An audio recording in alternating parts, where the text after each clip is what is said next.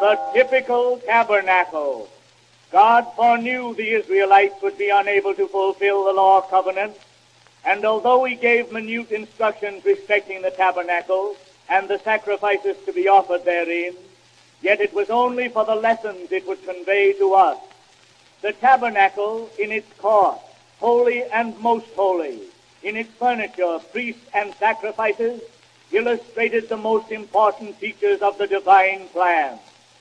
St. Paul informs us that the bullock of the sin offering on the Day of Atonement typified Jesus in the flesh.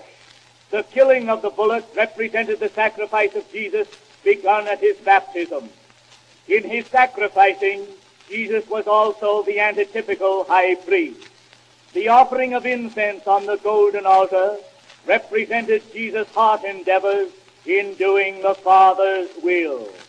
Carrying the blood into the holy represented the consecration of the antitypical priest, the veil thus symbolizing the death of his will, because of which he is accepted as a new creature.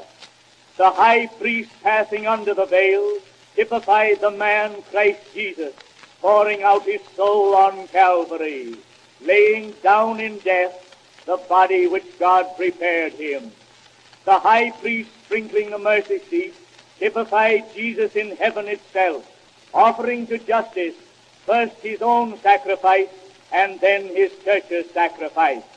Nothing could be done with the blood of the goat, the church, till the blood of the bullock, Christ Jesus, had made it holy and acceptable.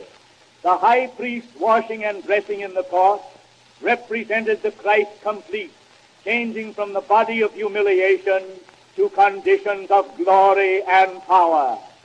Clad in his robes of glory, the high priest represented Messiah, empowered to bless mankind.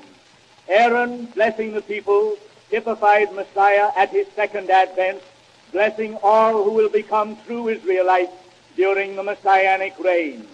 The people shouting and falling on their